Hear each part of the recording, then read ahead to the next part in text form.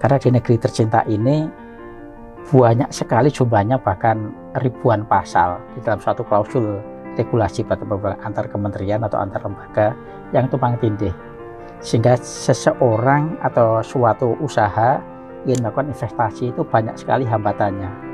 Tapi dalam konteks ini kita tidak mengutamakan orang berusaha atau investasinya bukan tapi yang kita pikirkan dari Kemenaker dampak dari investor masuk tentunya akan ada penyerapan lapangan kerja yang luar biasa. Biarpun di satu sisi dihebohkan kayaknya TKA juga marak. Tetap harus ada screeningnya tetap harus ada regulasi aturan mengatur uh, level apa jenjang apa persyaratannya apa juga sangat ketat. Kita bukan pro pengusaha bukan. Kita harus adil antara pekerja dan pengusaha. Tapi di satu sisi kami Kemnaker harus mempertahankan jangan sampai pengusaha pada kabur ke negara lain karena merasa betek di dalam negeri, akhirnya juga penggunaannya menumpuk. Nah, yang menarik adalah saat ini justru penolakan hadir di tengah-tengah unsur masyarakat. Nah, kira-kira strategi apa nih uh, Kemenaker untuk menyikapi penolakan bahkan sekarang penundaan di DPR untuk diskusi Oke, mengenai baik. Omnibus Law uh, Cipta Kerja? Jadi yang pertama terlebih dahulu terkait dengan penolakan tadi. Ya. Memang orang kalau tidak kenal maka sudah alergi dulu kalau tak belum sayang, ya? familiar, ya? belum tak kenal tak sayang. itu biasa itu di mana pun berada. Hmm uh, yang kedua, sebetulnya kami kan memikirkan di era saat ini ke depan. Kebetulan mohon maaf, yang menolak itu justru pekerja yang existing. Tapi beliau mohon maaf jangan-jangan juga tidak memikirkan anak cucu mereka yang nanti akan masuk ke dunia kerja. Jadi setiap tahun itu ada akumulasi 9,05 juta orang menganggur. Ini butuh pekerjaan.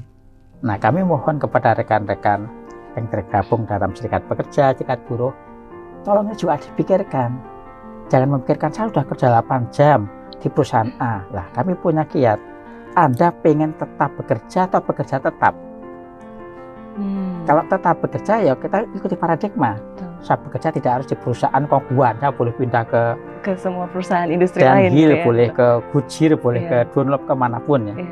tapi yang penting dijamin keberlangsungan untuk bekerja tapi kalau saya sudah bekerja di kongguan harus kontrak menuntut kontrak.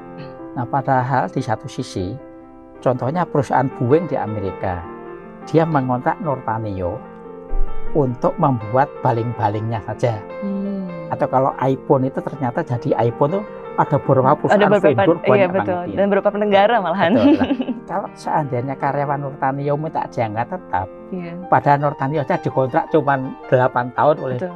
Boeing lah, kan nggak mungkin maka sekarang karyawan tetap karena kota sudah berubah mindset dan lulusan baru yang 9,05 itu harus kita akomodir.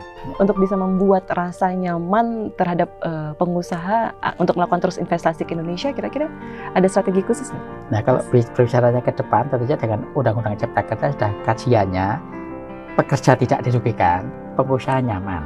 Tapi kan next ini belum.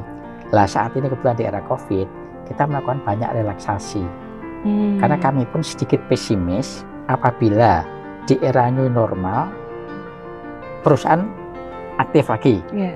Tapi belum tentu yang dirumahkan diambil lagi. Betul. Kan katakan di PHK misalnya kayak contohnya Giant di Depok misalnya. Yeah. Katakan seribu orang di PHK atau 300 orang di PHK. Kan kalau hidup lagi kan ngambilnya bertahap yeah. dulu nggak mungkin semua langsung ditarik nah semua. lainnya kan nunggu nunggu nah, apa mm. nunggu kepastian. kepastian. Nah, di satu sisi berbicara terkait sama COVID, di PHK sama di dirumahkan tuh lebih nyaman di PHK. Hmm. Karena di PHK ada kepastian dasar hukumnya. Yeah. Kalau dia tidak puas bisa banding, banding. sampai ke pengadilan, tulisan perburuan. Tapi kalau ini karena perusahaannya kondisinya tidak ada tamu hotel, kamu di rumah kan nanti diambil lagi po tidak kan jadi jadi malah tahu. malah uh, ya. nggak pasti ya kondisinya. Maka lebih banyak mendampingin para pekerja yang terbiakan dan rumahkan untuk wirausaha mandiri. Dan hmm. kita kasih pelatihan gratis, kita kasih modal untuk sementara sembari nunggu dipanggil kembali. Ya, sebenarnya eh, seberapa penting dukungan masyarakat terhadap eh, keberhasilan dari Omnibus Law Cipta Kerja ini? Ya. Kalau diukur. Dukungan masyarakat. Iya, seberapa penting dukungan masyarakat dan dampak dari Cipta Kerja ini kan akan berpengaruh kepada perputaran perekonomian. Iya. Niat daya beli dan semuanya akan berpengaruh ke sana. Nah kami berpikir misalnya kalau perusahaannya tidak kerasan terus pada cara bertahap meninggalkan Indonesia pengangguran kan juga akan semakin tinggi. numpuk. Contoh kecil yang perusahaan relokasi dari Tangerang, dari Kerawang pindah ke Jawa Tengah Iya. karena mengejar UMR yang lebih Iya. rendah, itu pun ada pengangguran baru. Karena belum tentu mau dengan perusahaannya pindah ke Kendal, Iya. orang Kerawang juga ikut, Ikut lagi ke sana, dia akan betul. dari kerjaan lain. Iya. Nah, ini sangat berpengaruh terhadap, terhadap apa ekosistem kehidupan sehari-hari karena menyangkut sektor perekonomian. Iya. Nah, dengan adanya Undang-Undang Cipta Kerja, dengan pengaturan baru, semuanya pikiran kajian Kemnaker tentunya, si pengusaha akan nyaman, pekerja pun tetap dilindungi.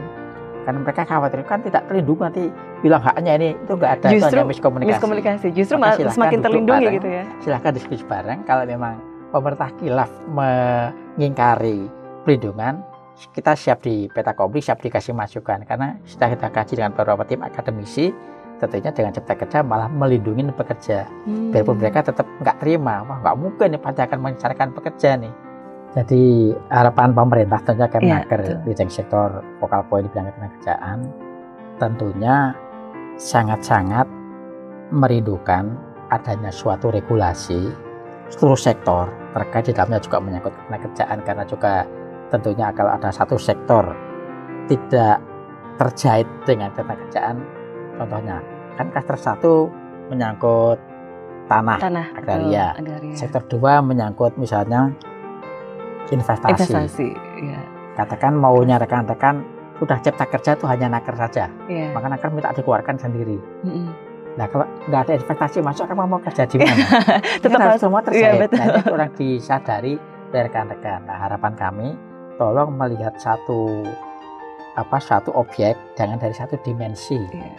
Artinya bahwa sektor ketenagakerjaan, rekan-rekan pekerja, rekan rekan pekerja tidak bisa lepas dari investasi. Tapi jangan diartikan pemerintah pro pengusaha tidak. Betul.